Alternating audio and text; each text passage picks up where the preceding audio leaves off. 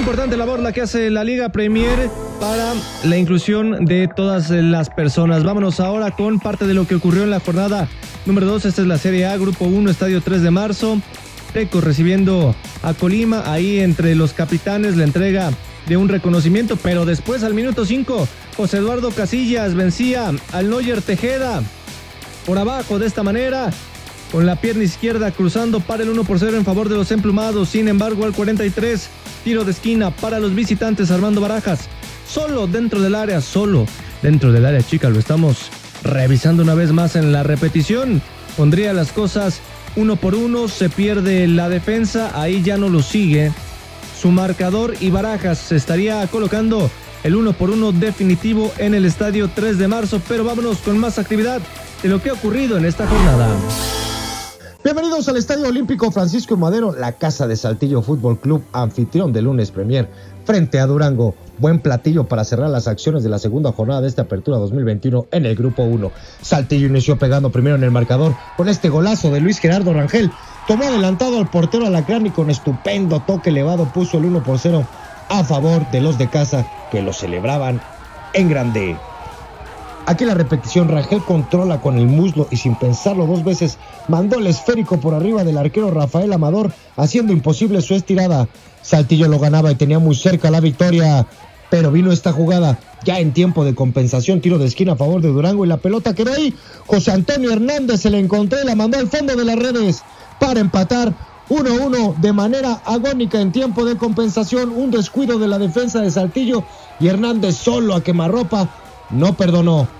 No hubo tiempo para más. Saltillo Fútbol Club y Durango dividieron unidades en el lunes Premier. Bueno, yo creo que fue un partido muy difícil, muy complicado. Este, se intentó sacar la victoria y bueno, al final nos sacan el empate, nos, nos duele, sabor bastante agridulce, pero bueno, seguir trabajando y pensar ya en, en el siguiente partido. Nosotros salimos a hacer nuestro trabajo, este, a pesar de que pues, el rival estaba con los 11 metidos en su cancha.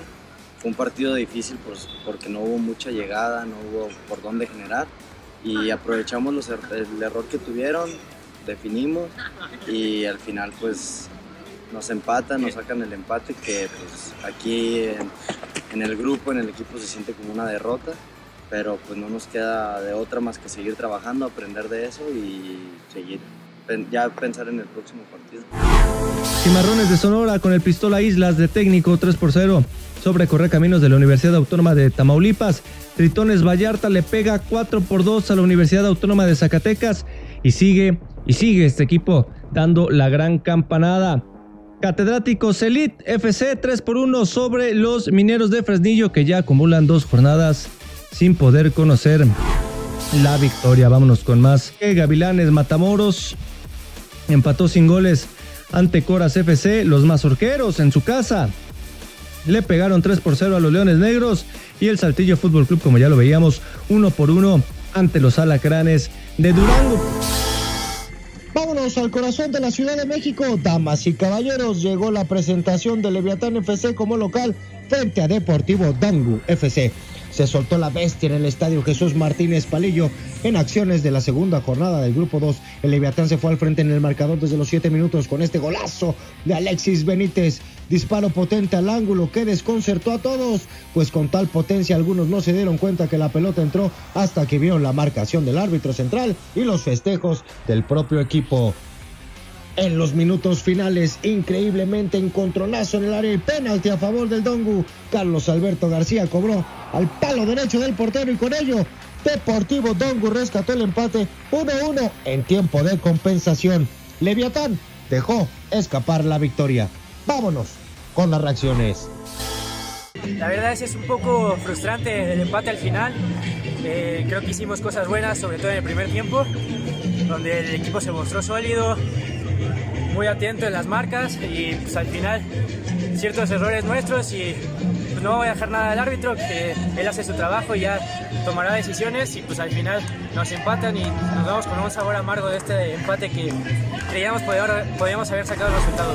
A dos minutos de tiempo de compensación, a dos minutos de tiempo de compensación nos sacan el empate. ¿Por qué? Por una desconcentración, por una situación más propio un error muy marcado de nuestro central.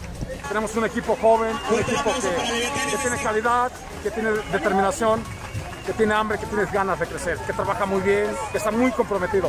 Y eso nos deja cierta pauta, cierta tranquilidad para seguir trabajando. Y aquí todos los resultados en esta segunda fecha para el grupo número 2. Club Deportivo ZAP le pegó 2 por 1 a Escorpiones Fútbol Club. Gran presentación en casa. Como lo vimos, Leviatán FC 1-1 con Deportivo Dongu. Cafetaleros de Chiapas le pegó 3 por 2 a Inter Playa del Carmen. Partidazo allá en el Víctor Manuel Reina. En más resultados, Sporting Canami cayó en casa 3 por 0 con Reboceros de la Piedad y el cuadro michoacano ya es líder general.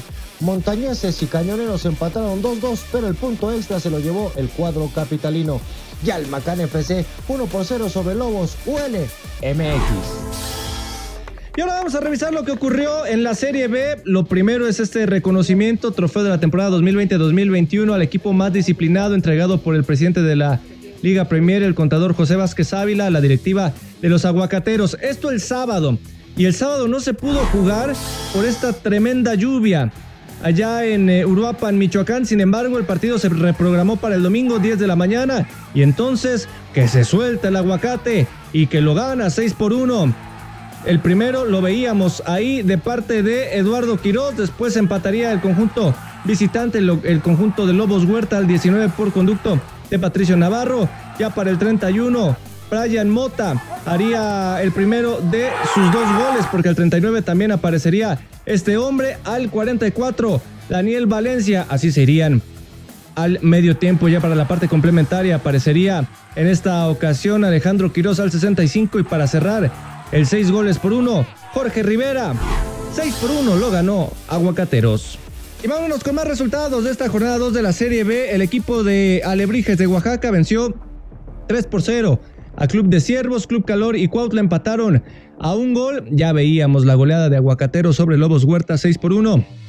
Y los huracanes de Iscali FC vencieron 2 por 0 a los guerreros de Jico. Lo mejor de esta jornada 2 de la Apertura 2021 en la Liga Premier. Hasta la próxima.